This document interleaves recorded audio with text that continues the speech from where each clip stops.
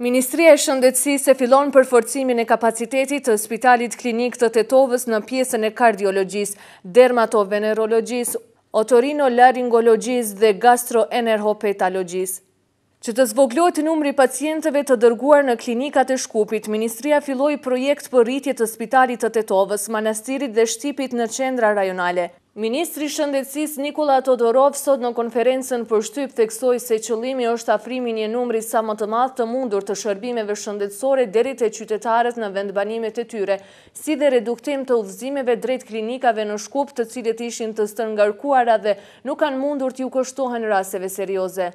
Ai pret që projekti të japë rezultat për një vit dhe se kjo është zgjidhje për tejkalim të gjendjes së këtillë. Gjatë gjashtë muajve të kaluar nga fillimi i vitit janë krijuar gjithsej pesë mijë e gjashtëqind e gjashtëmbëdhjetë udhëzime drejt klinikave të Shkupit dhe Spitalit të Përgjithshëm të qytetit, që do të thotë në mesatare mbi dhjetë mijë udhëzime në vit. Vetëm në sferat në të cilat përqëndrohemi me këtë praktikë janë krijuar gjithsejtë një mijë e gjashtëqind e tetëdhjetë e katër udhëzime dhe për këtë arsye në kuadër të Spitalit të Tetovës janë përqëndruar në këto katër specialitete, tha Todorov. Sipas tij, ajo që e nxiti ministrinë që ta realizojë këtë projekt është që një specialist, për shembull i otorinolaringologjisë, është edhe ai në Tetovë dhe ai në Shkup. Dhe pse ai në Shkup të mund ta punojë këtë gjë e ai në Tetovë të mos mundet? Edhe njëri edhe tjetri janë specialistë, së bashku kanë studiuar dhe specializuar në pjesën më të madhe të klinikave të Shkupit dhe nuk shohim kurrfarë arsye se pse nuk munden të japin shërbim shëndetësor në ato qytete dhe pa nevojë dërgohen jashtë vendlindjes së tyre, shtoi Todorov.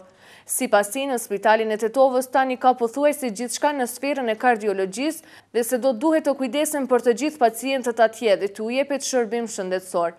Ai informoi se në pjesën e kardiologjisë, në të cilën në gjashtë muajt e kaluar nga Tetova janë krijuar katërqind e pesëdhjetë e nëntë udhëzime, do të furnizohen pajisje plotësuese për sallë angiografike, do të formohet edhe kabinet i ri për hipertension, ndërsa profesionalisht do të përsoset edhe kuadri. Todorov informoi se me projektin Klinikë e Disperzuar do të mundësohet edhe një mjek specialist nga klinikat në Shkup, që do të punojë gjatë disa ditëve me pacientë në spitalin në Tetovë.